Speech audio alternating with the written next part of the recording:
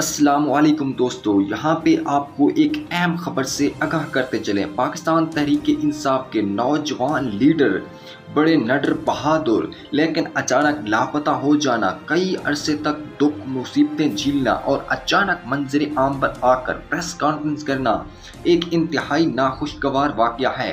उस्मान डार ने मंजर आम पर आते ही न्यूज़ कॉन्फ्रेंस की। न्यूज़ कॉन्फ्रेंस में बहुत बड़े इंकशाफात कर दिए। पूरी तफसील आपको इस वीडियो में बताते हैं।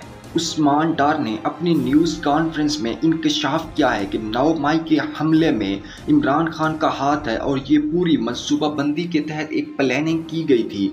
ये मनसूबाबंदी इमरान खान की सरबराही में की गई थी। इमरान खान ने ये जानबूझकर हमला करवाया था।